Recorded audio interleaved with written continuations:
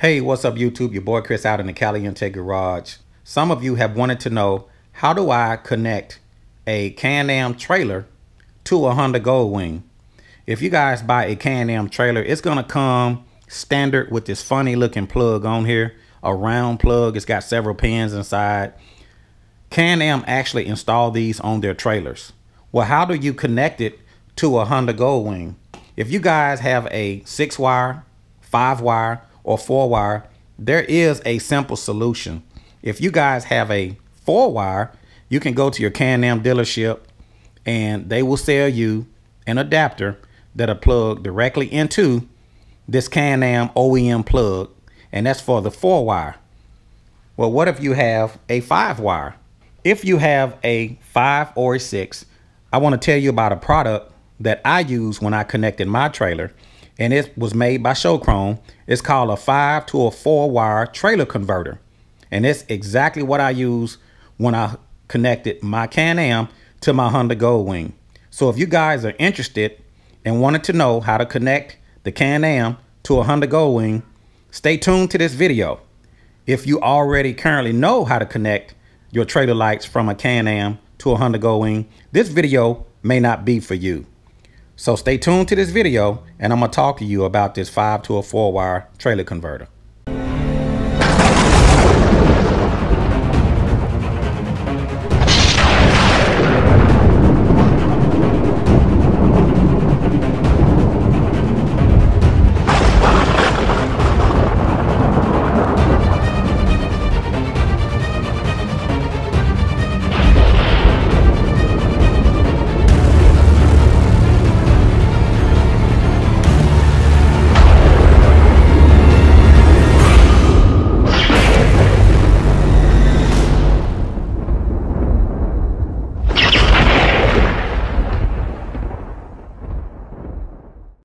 Okay, this is not going to be an installation video, but I'm going to talk to you about how it works. And hopefully at the end of this video, you guys will kind of get an idea of how this uh, five to a four wire trailer converter actually works. So before we get into that, I want to show you guys the difference in trailer plugs. Now this is what the Can-Am plug looks like when you buy your Can-Am trailer, okay? But there are so many different types of plugs depending on your bike setup. This is a six wire that I have on my Gold Wing. Some of you may have a five wire flat. Some of you may have a four wire flat. So it just depends on your setup. Here's another setup. This is a five prong setup. So how do you know which wire is which? All you see is, is connectors. Well, all of these are pretty much the same. They just created differently. They all do the same thing. They're just made differently. So I want to kind of show you guys how it works.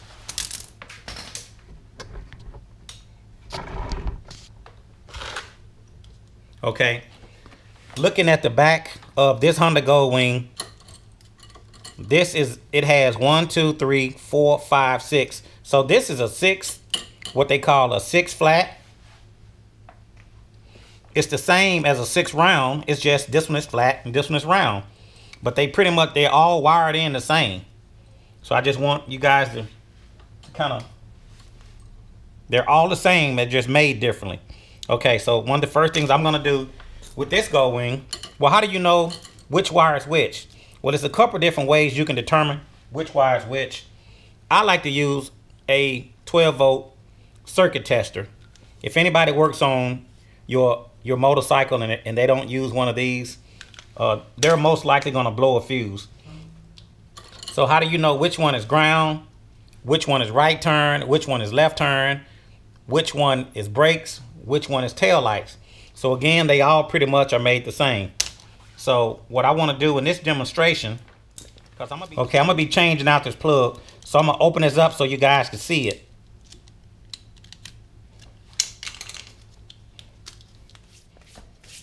Okay, now let's look at these wires. And again, it's going to work the same on all of these. They just look different. Your white, you can't go by the color code. But if it's hooked up correctly, you can go by the color code. White is generally ground. Yellow is generally left turn. Brown is generally tail lights. Green is generally right turn. Blue is generally brakes.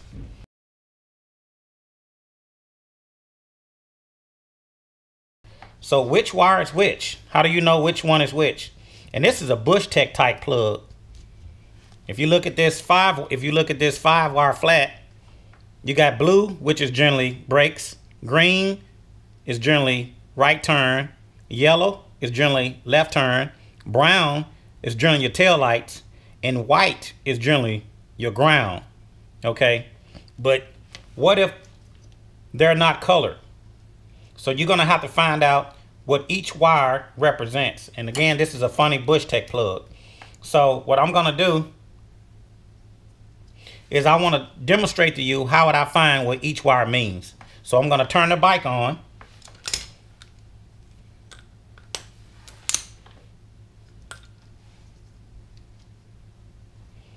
Well, first thing I'm going to do, I want to cut these wires off of here. We're going to just disconnect them because I'm not going to be using this plug anymore. Okay? We're going to take them all off.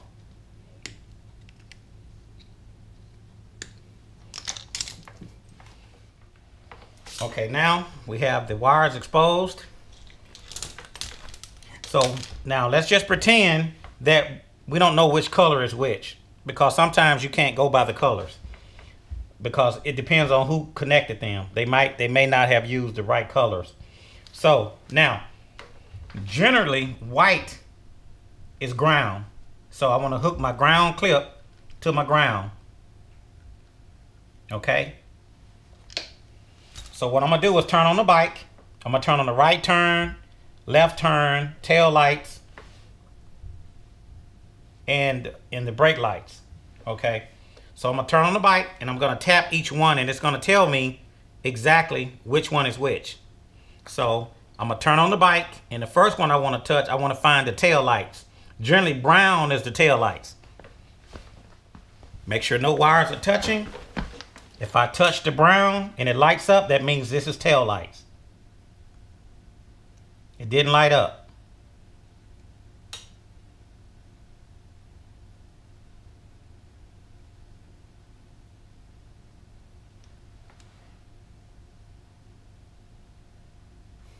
So that means that he's got a blown fuse somewhere because his trailer lights are not working or I either have it connected to the wrong ground. Now, Let's move this over to the black. Make sure that I, that I have it connected properly.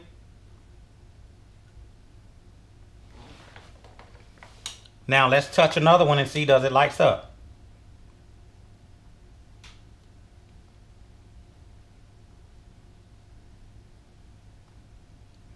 So before I assume that his bike trailer wiring is not working, I'm gonna connect this to a battery I just want to verify that it's not my circuit tester. Okay, this is a regular 12 volt DC battery. I'm gonna put the clip on the ground.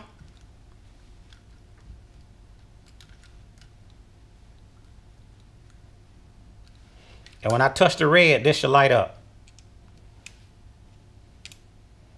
So that lets you know that my circuit tester is working. For some reason or another, Either his wiring is totally wrong or it's not working. And I think that his wiring is not working.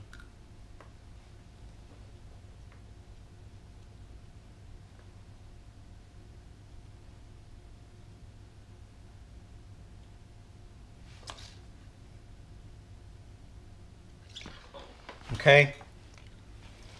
Okay, this this is a separate problem, and uh, I'm gonna have to run it down why his trailer wiring is not working. But I just wanted to show you guys how this pretty much works. I'm gonna open this up.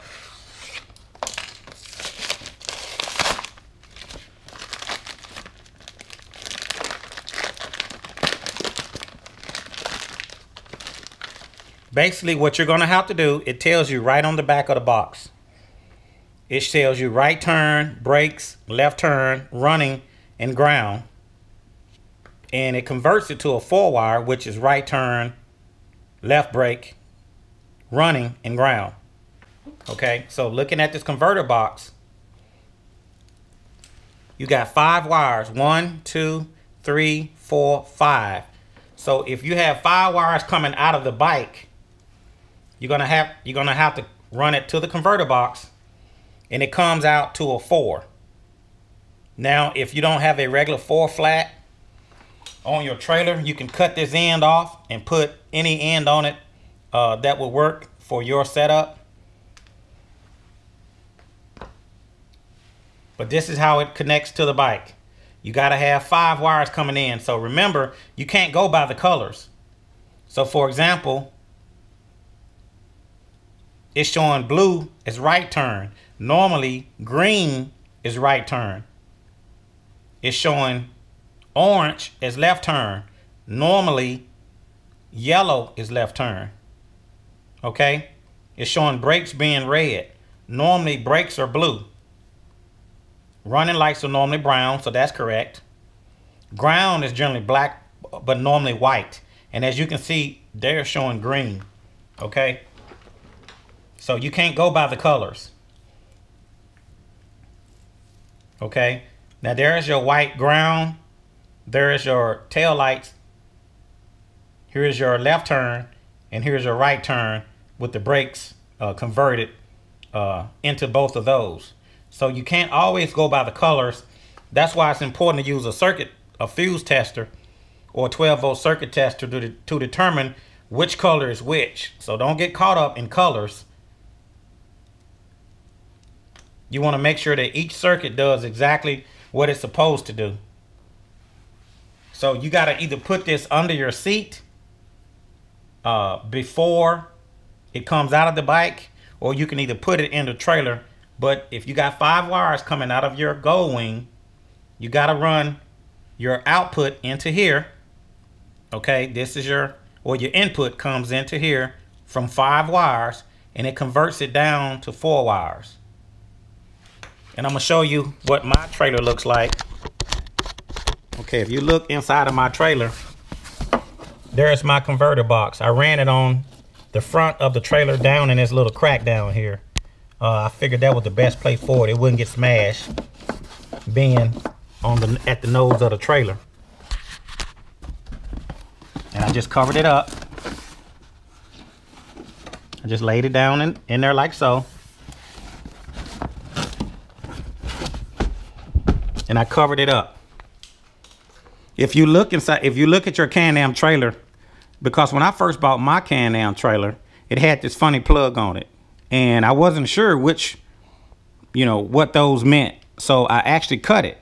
Once I cut it and opened it up, I realized that within within this uh, round plug, it only had four wires. Look at that, four wires, the same as a four wire flat. So if you guys have a if you have a four wire flat on your bike this is the same plug. I don't know why Can-Am used this big fat plug instead of just a standard four wire flat, but I guess that's, you know, being Canadian and all. But once I cut the plug, if you look inside, it's just four wires.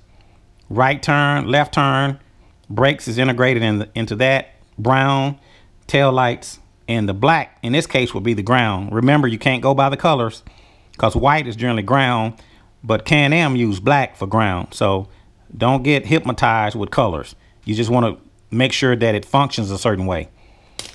Okay. So once I cut this plug, I realized that it was a four wire.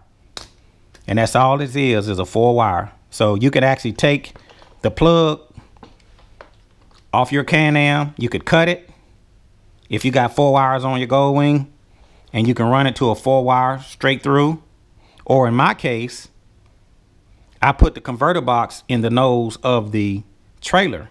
I pulled the wire that generally connects the trailer lights. I pulled it out and I drilled a hole in the bottom of the trailer and I connected everything in the nose of the trailer and I ran it back to the bike. So as you can see with my plug, I have a six pin round. But one of the wires is not connected. So technically I only have four wires connected within this plug even though it's a six pin round so I hope I'm not confusing you guys I hope you kind of understand what I'm trying to explain to you guys. Even though you got this funny plug, it's only four wires in there. So all you have to do, if you got four wires coming off your bike, you can cut it off and wire it straight through. Or you can buy an adapter that'll convert this from however many pins this is down to a four wire. And you can connect it that way. If you don't have that, you will need this five wires that takes it down to a four wire. And then you can run that straight into your Can-Am trailer. So I hope this video helps some of you guys out. But that's how you actually connect your Can-Am trailer to your Honda Goldwing. If you guys want to continue to watch, I got to figure out why his trailer is not working. I'm not sure. He probably has a fuse blowed. Uh, I'll check that in a minute. But I'm going to go ahead and get him a plug connected on here because he has a five wire. And I'm going to be connecting a five wire flat for his trailer. So this is going to be his setup. We're going five to a five. I'm just, I've just taken his seat off and I know you can't see it, but it looks like his trailer, looks like his trailer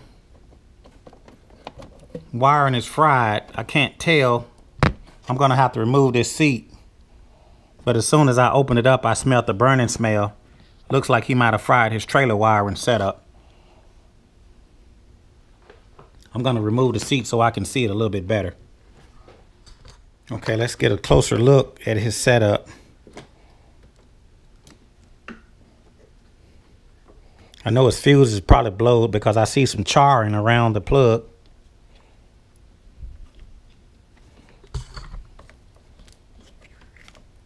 Yeah, looks like the fuse is blowed. If I can get this out. But looking at his setup, whoever put this in here put it too close.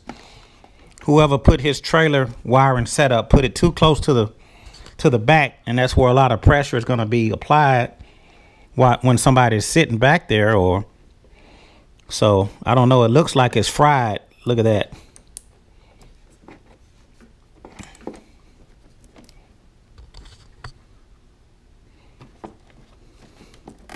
I mean they didn't give them no they didn't give themselves no room to work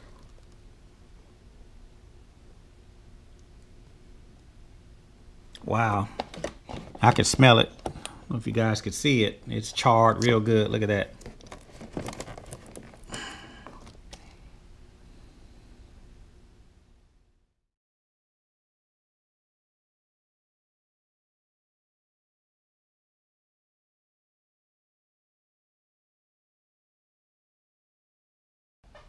Okay, I put some light up here so you guys could, hopefully you guys can see a better picture of it. Uh, this is why it's so important to not let anybody install your accessories. Uh, whoever installed this, they put it right here at the back. Well, a lot of, of the pressure of the seat would put pressure on this converter box and it looks like it melted it. If you get a close up, look at that. Can you guys see that?